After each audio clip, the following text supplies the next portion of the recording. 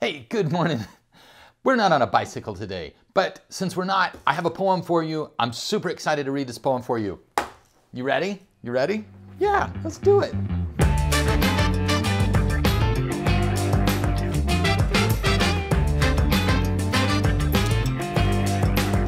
Oh, right, of course.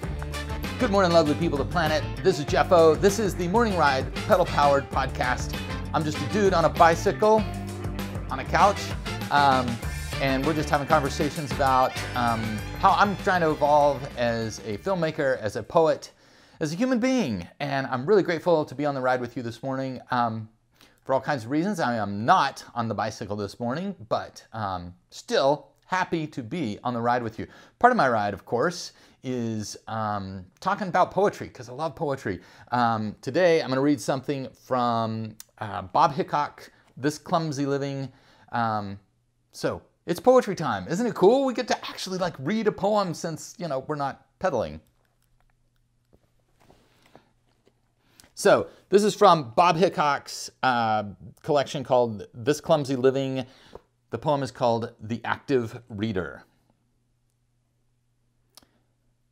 Reading a used book on evolution, I wonder about fingerprints, how long they live. Were the fingers licked before the pages were turned? Did the owner of the book of the fingerprints read in the bathroom? Ah. Okay, folks. So, in true fashion, no edits, we're going to start over. How about that? This is called The Active Reader.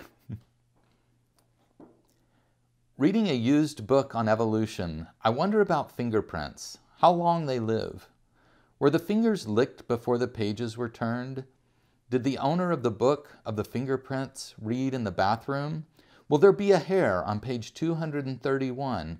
On a train, did he take the C uptown? Did she eat lunch with the pigeons and hold the book open with her foot as she sat cross legged on the lawn of the municipal building? A short hair, curly and black or blonde and straight, as long as my finger?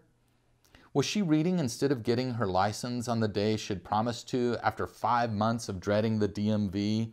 Instead of looking into the bill for lab tests, $177 to peek into her blood, her urine, instead of calling the furnace guy and dealing with his boots on the carpet, with his mouth moving in front of hers, with the expectation of small talk, did the book keep her from visiting her mother and asking about the MS? Did he hold the book between his face and his wife? Is it how he asked for a divorce? By not speaking? By not saying the name Leakey over and over again to himself? By letting the pages stand in for his face? Will I become everyone who read this book? Did their eyes change the letters? Is reading a sexual act is there congress between the text and my gaze? Is there no mirror left me but words? Why am I afraid of people? Why do I talk behind them to the edge of their shadows? Why did the continents drift? Why didn't the, the thumb stay put? Is fear what it means to be human? Am I what it means to be human? Why did the brain ransom the heart to the mouth?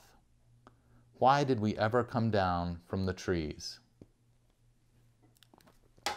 Man, that is a poem.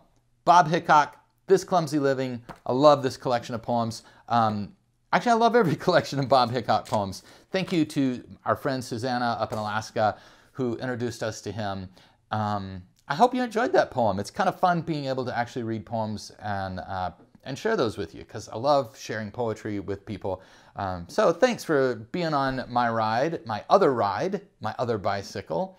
Hey, if you love riding a bicycle, and it doesn't matter what your bike is, one of my bicycles is a bicycle, one of my bicycles is a book of poems.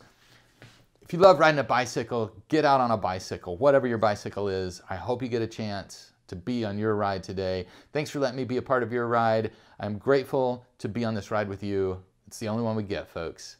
I am looking forward to seeing you on Monday. Have a great weekend. Have a great weekend.